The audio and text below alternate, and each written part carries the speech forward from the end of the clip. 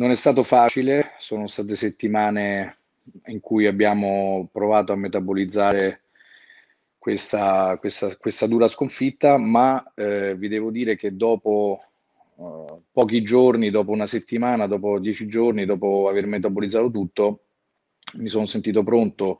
insieme a tutta la mia squadra di lavoro a ripartire, a ripartire per un anno uh, che dovrà essere ancora più ambizioso, dovrà essere ancora più concentrato, dovrà essere veramente eh, preparato per affrontare un nuovo anno di, di Serie C. Mm, nasce in queste ore questa, questa nuova avventura e, e, io credo che debba arrivare forte sulla squadra e forte nell'ambiente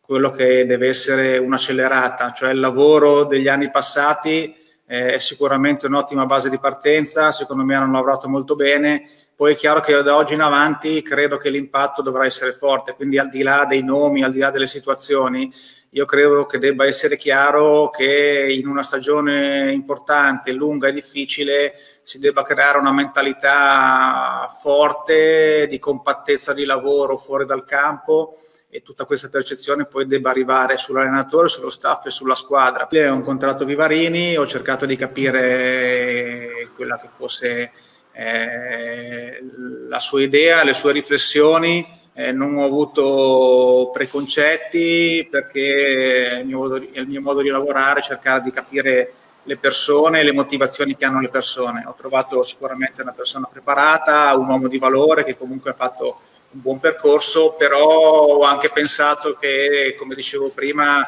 eh, ci sia bisogno di, di, di una svolta e di conseguenza avendo fatto delle valutazioni complessive eh, molto attente e con la riflessione giusta, eh, io credo che si debba andare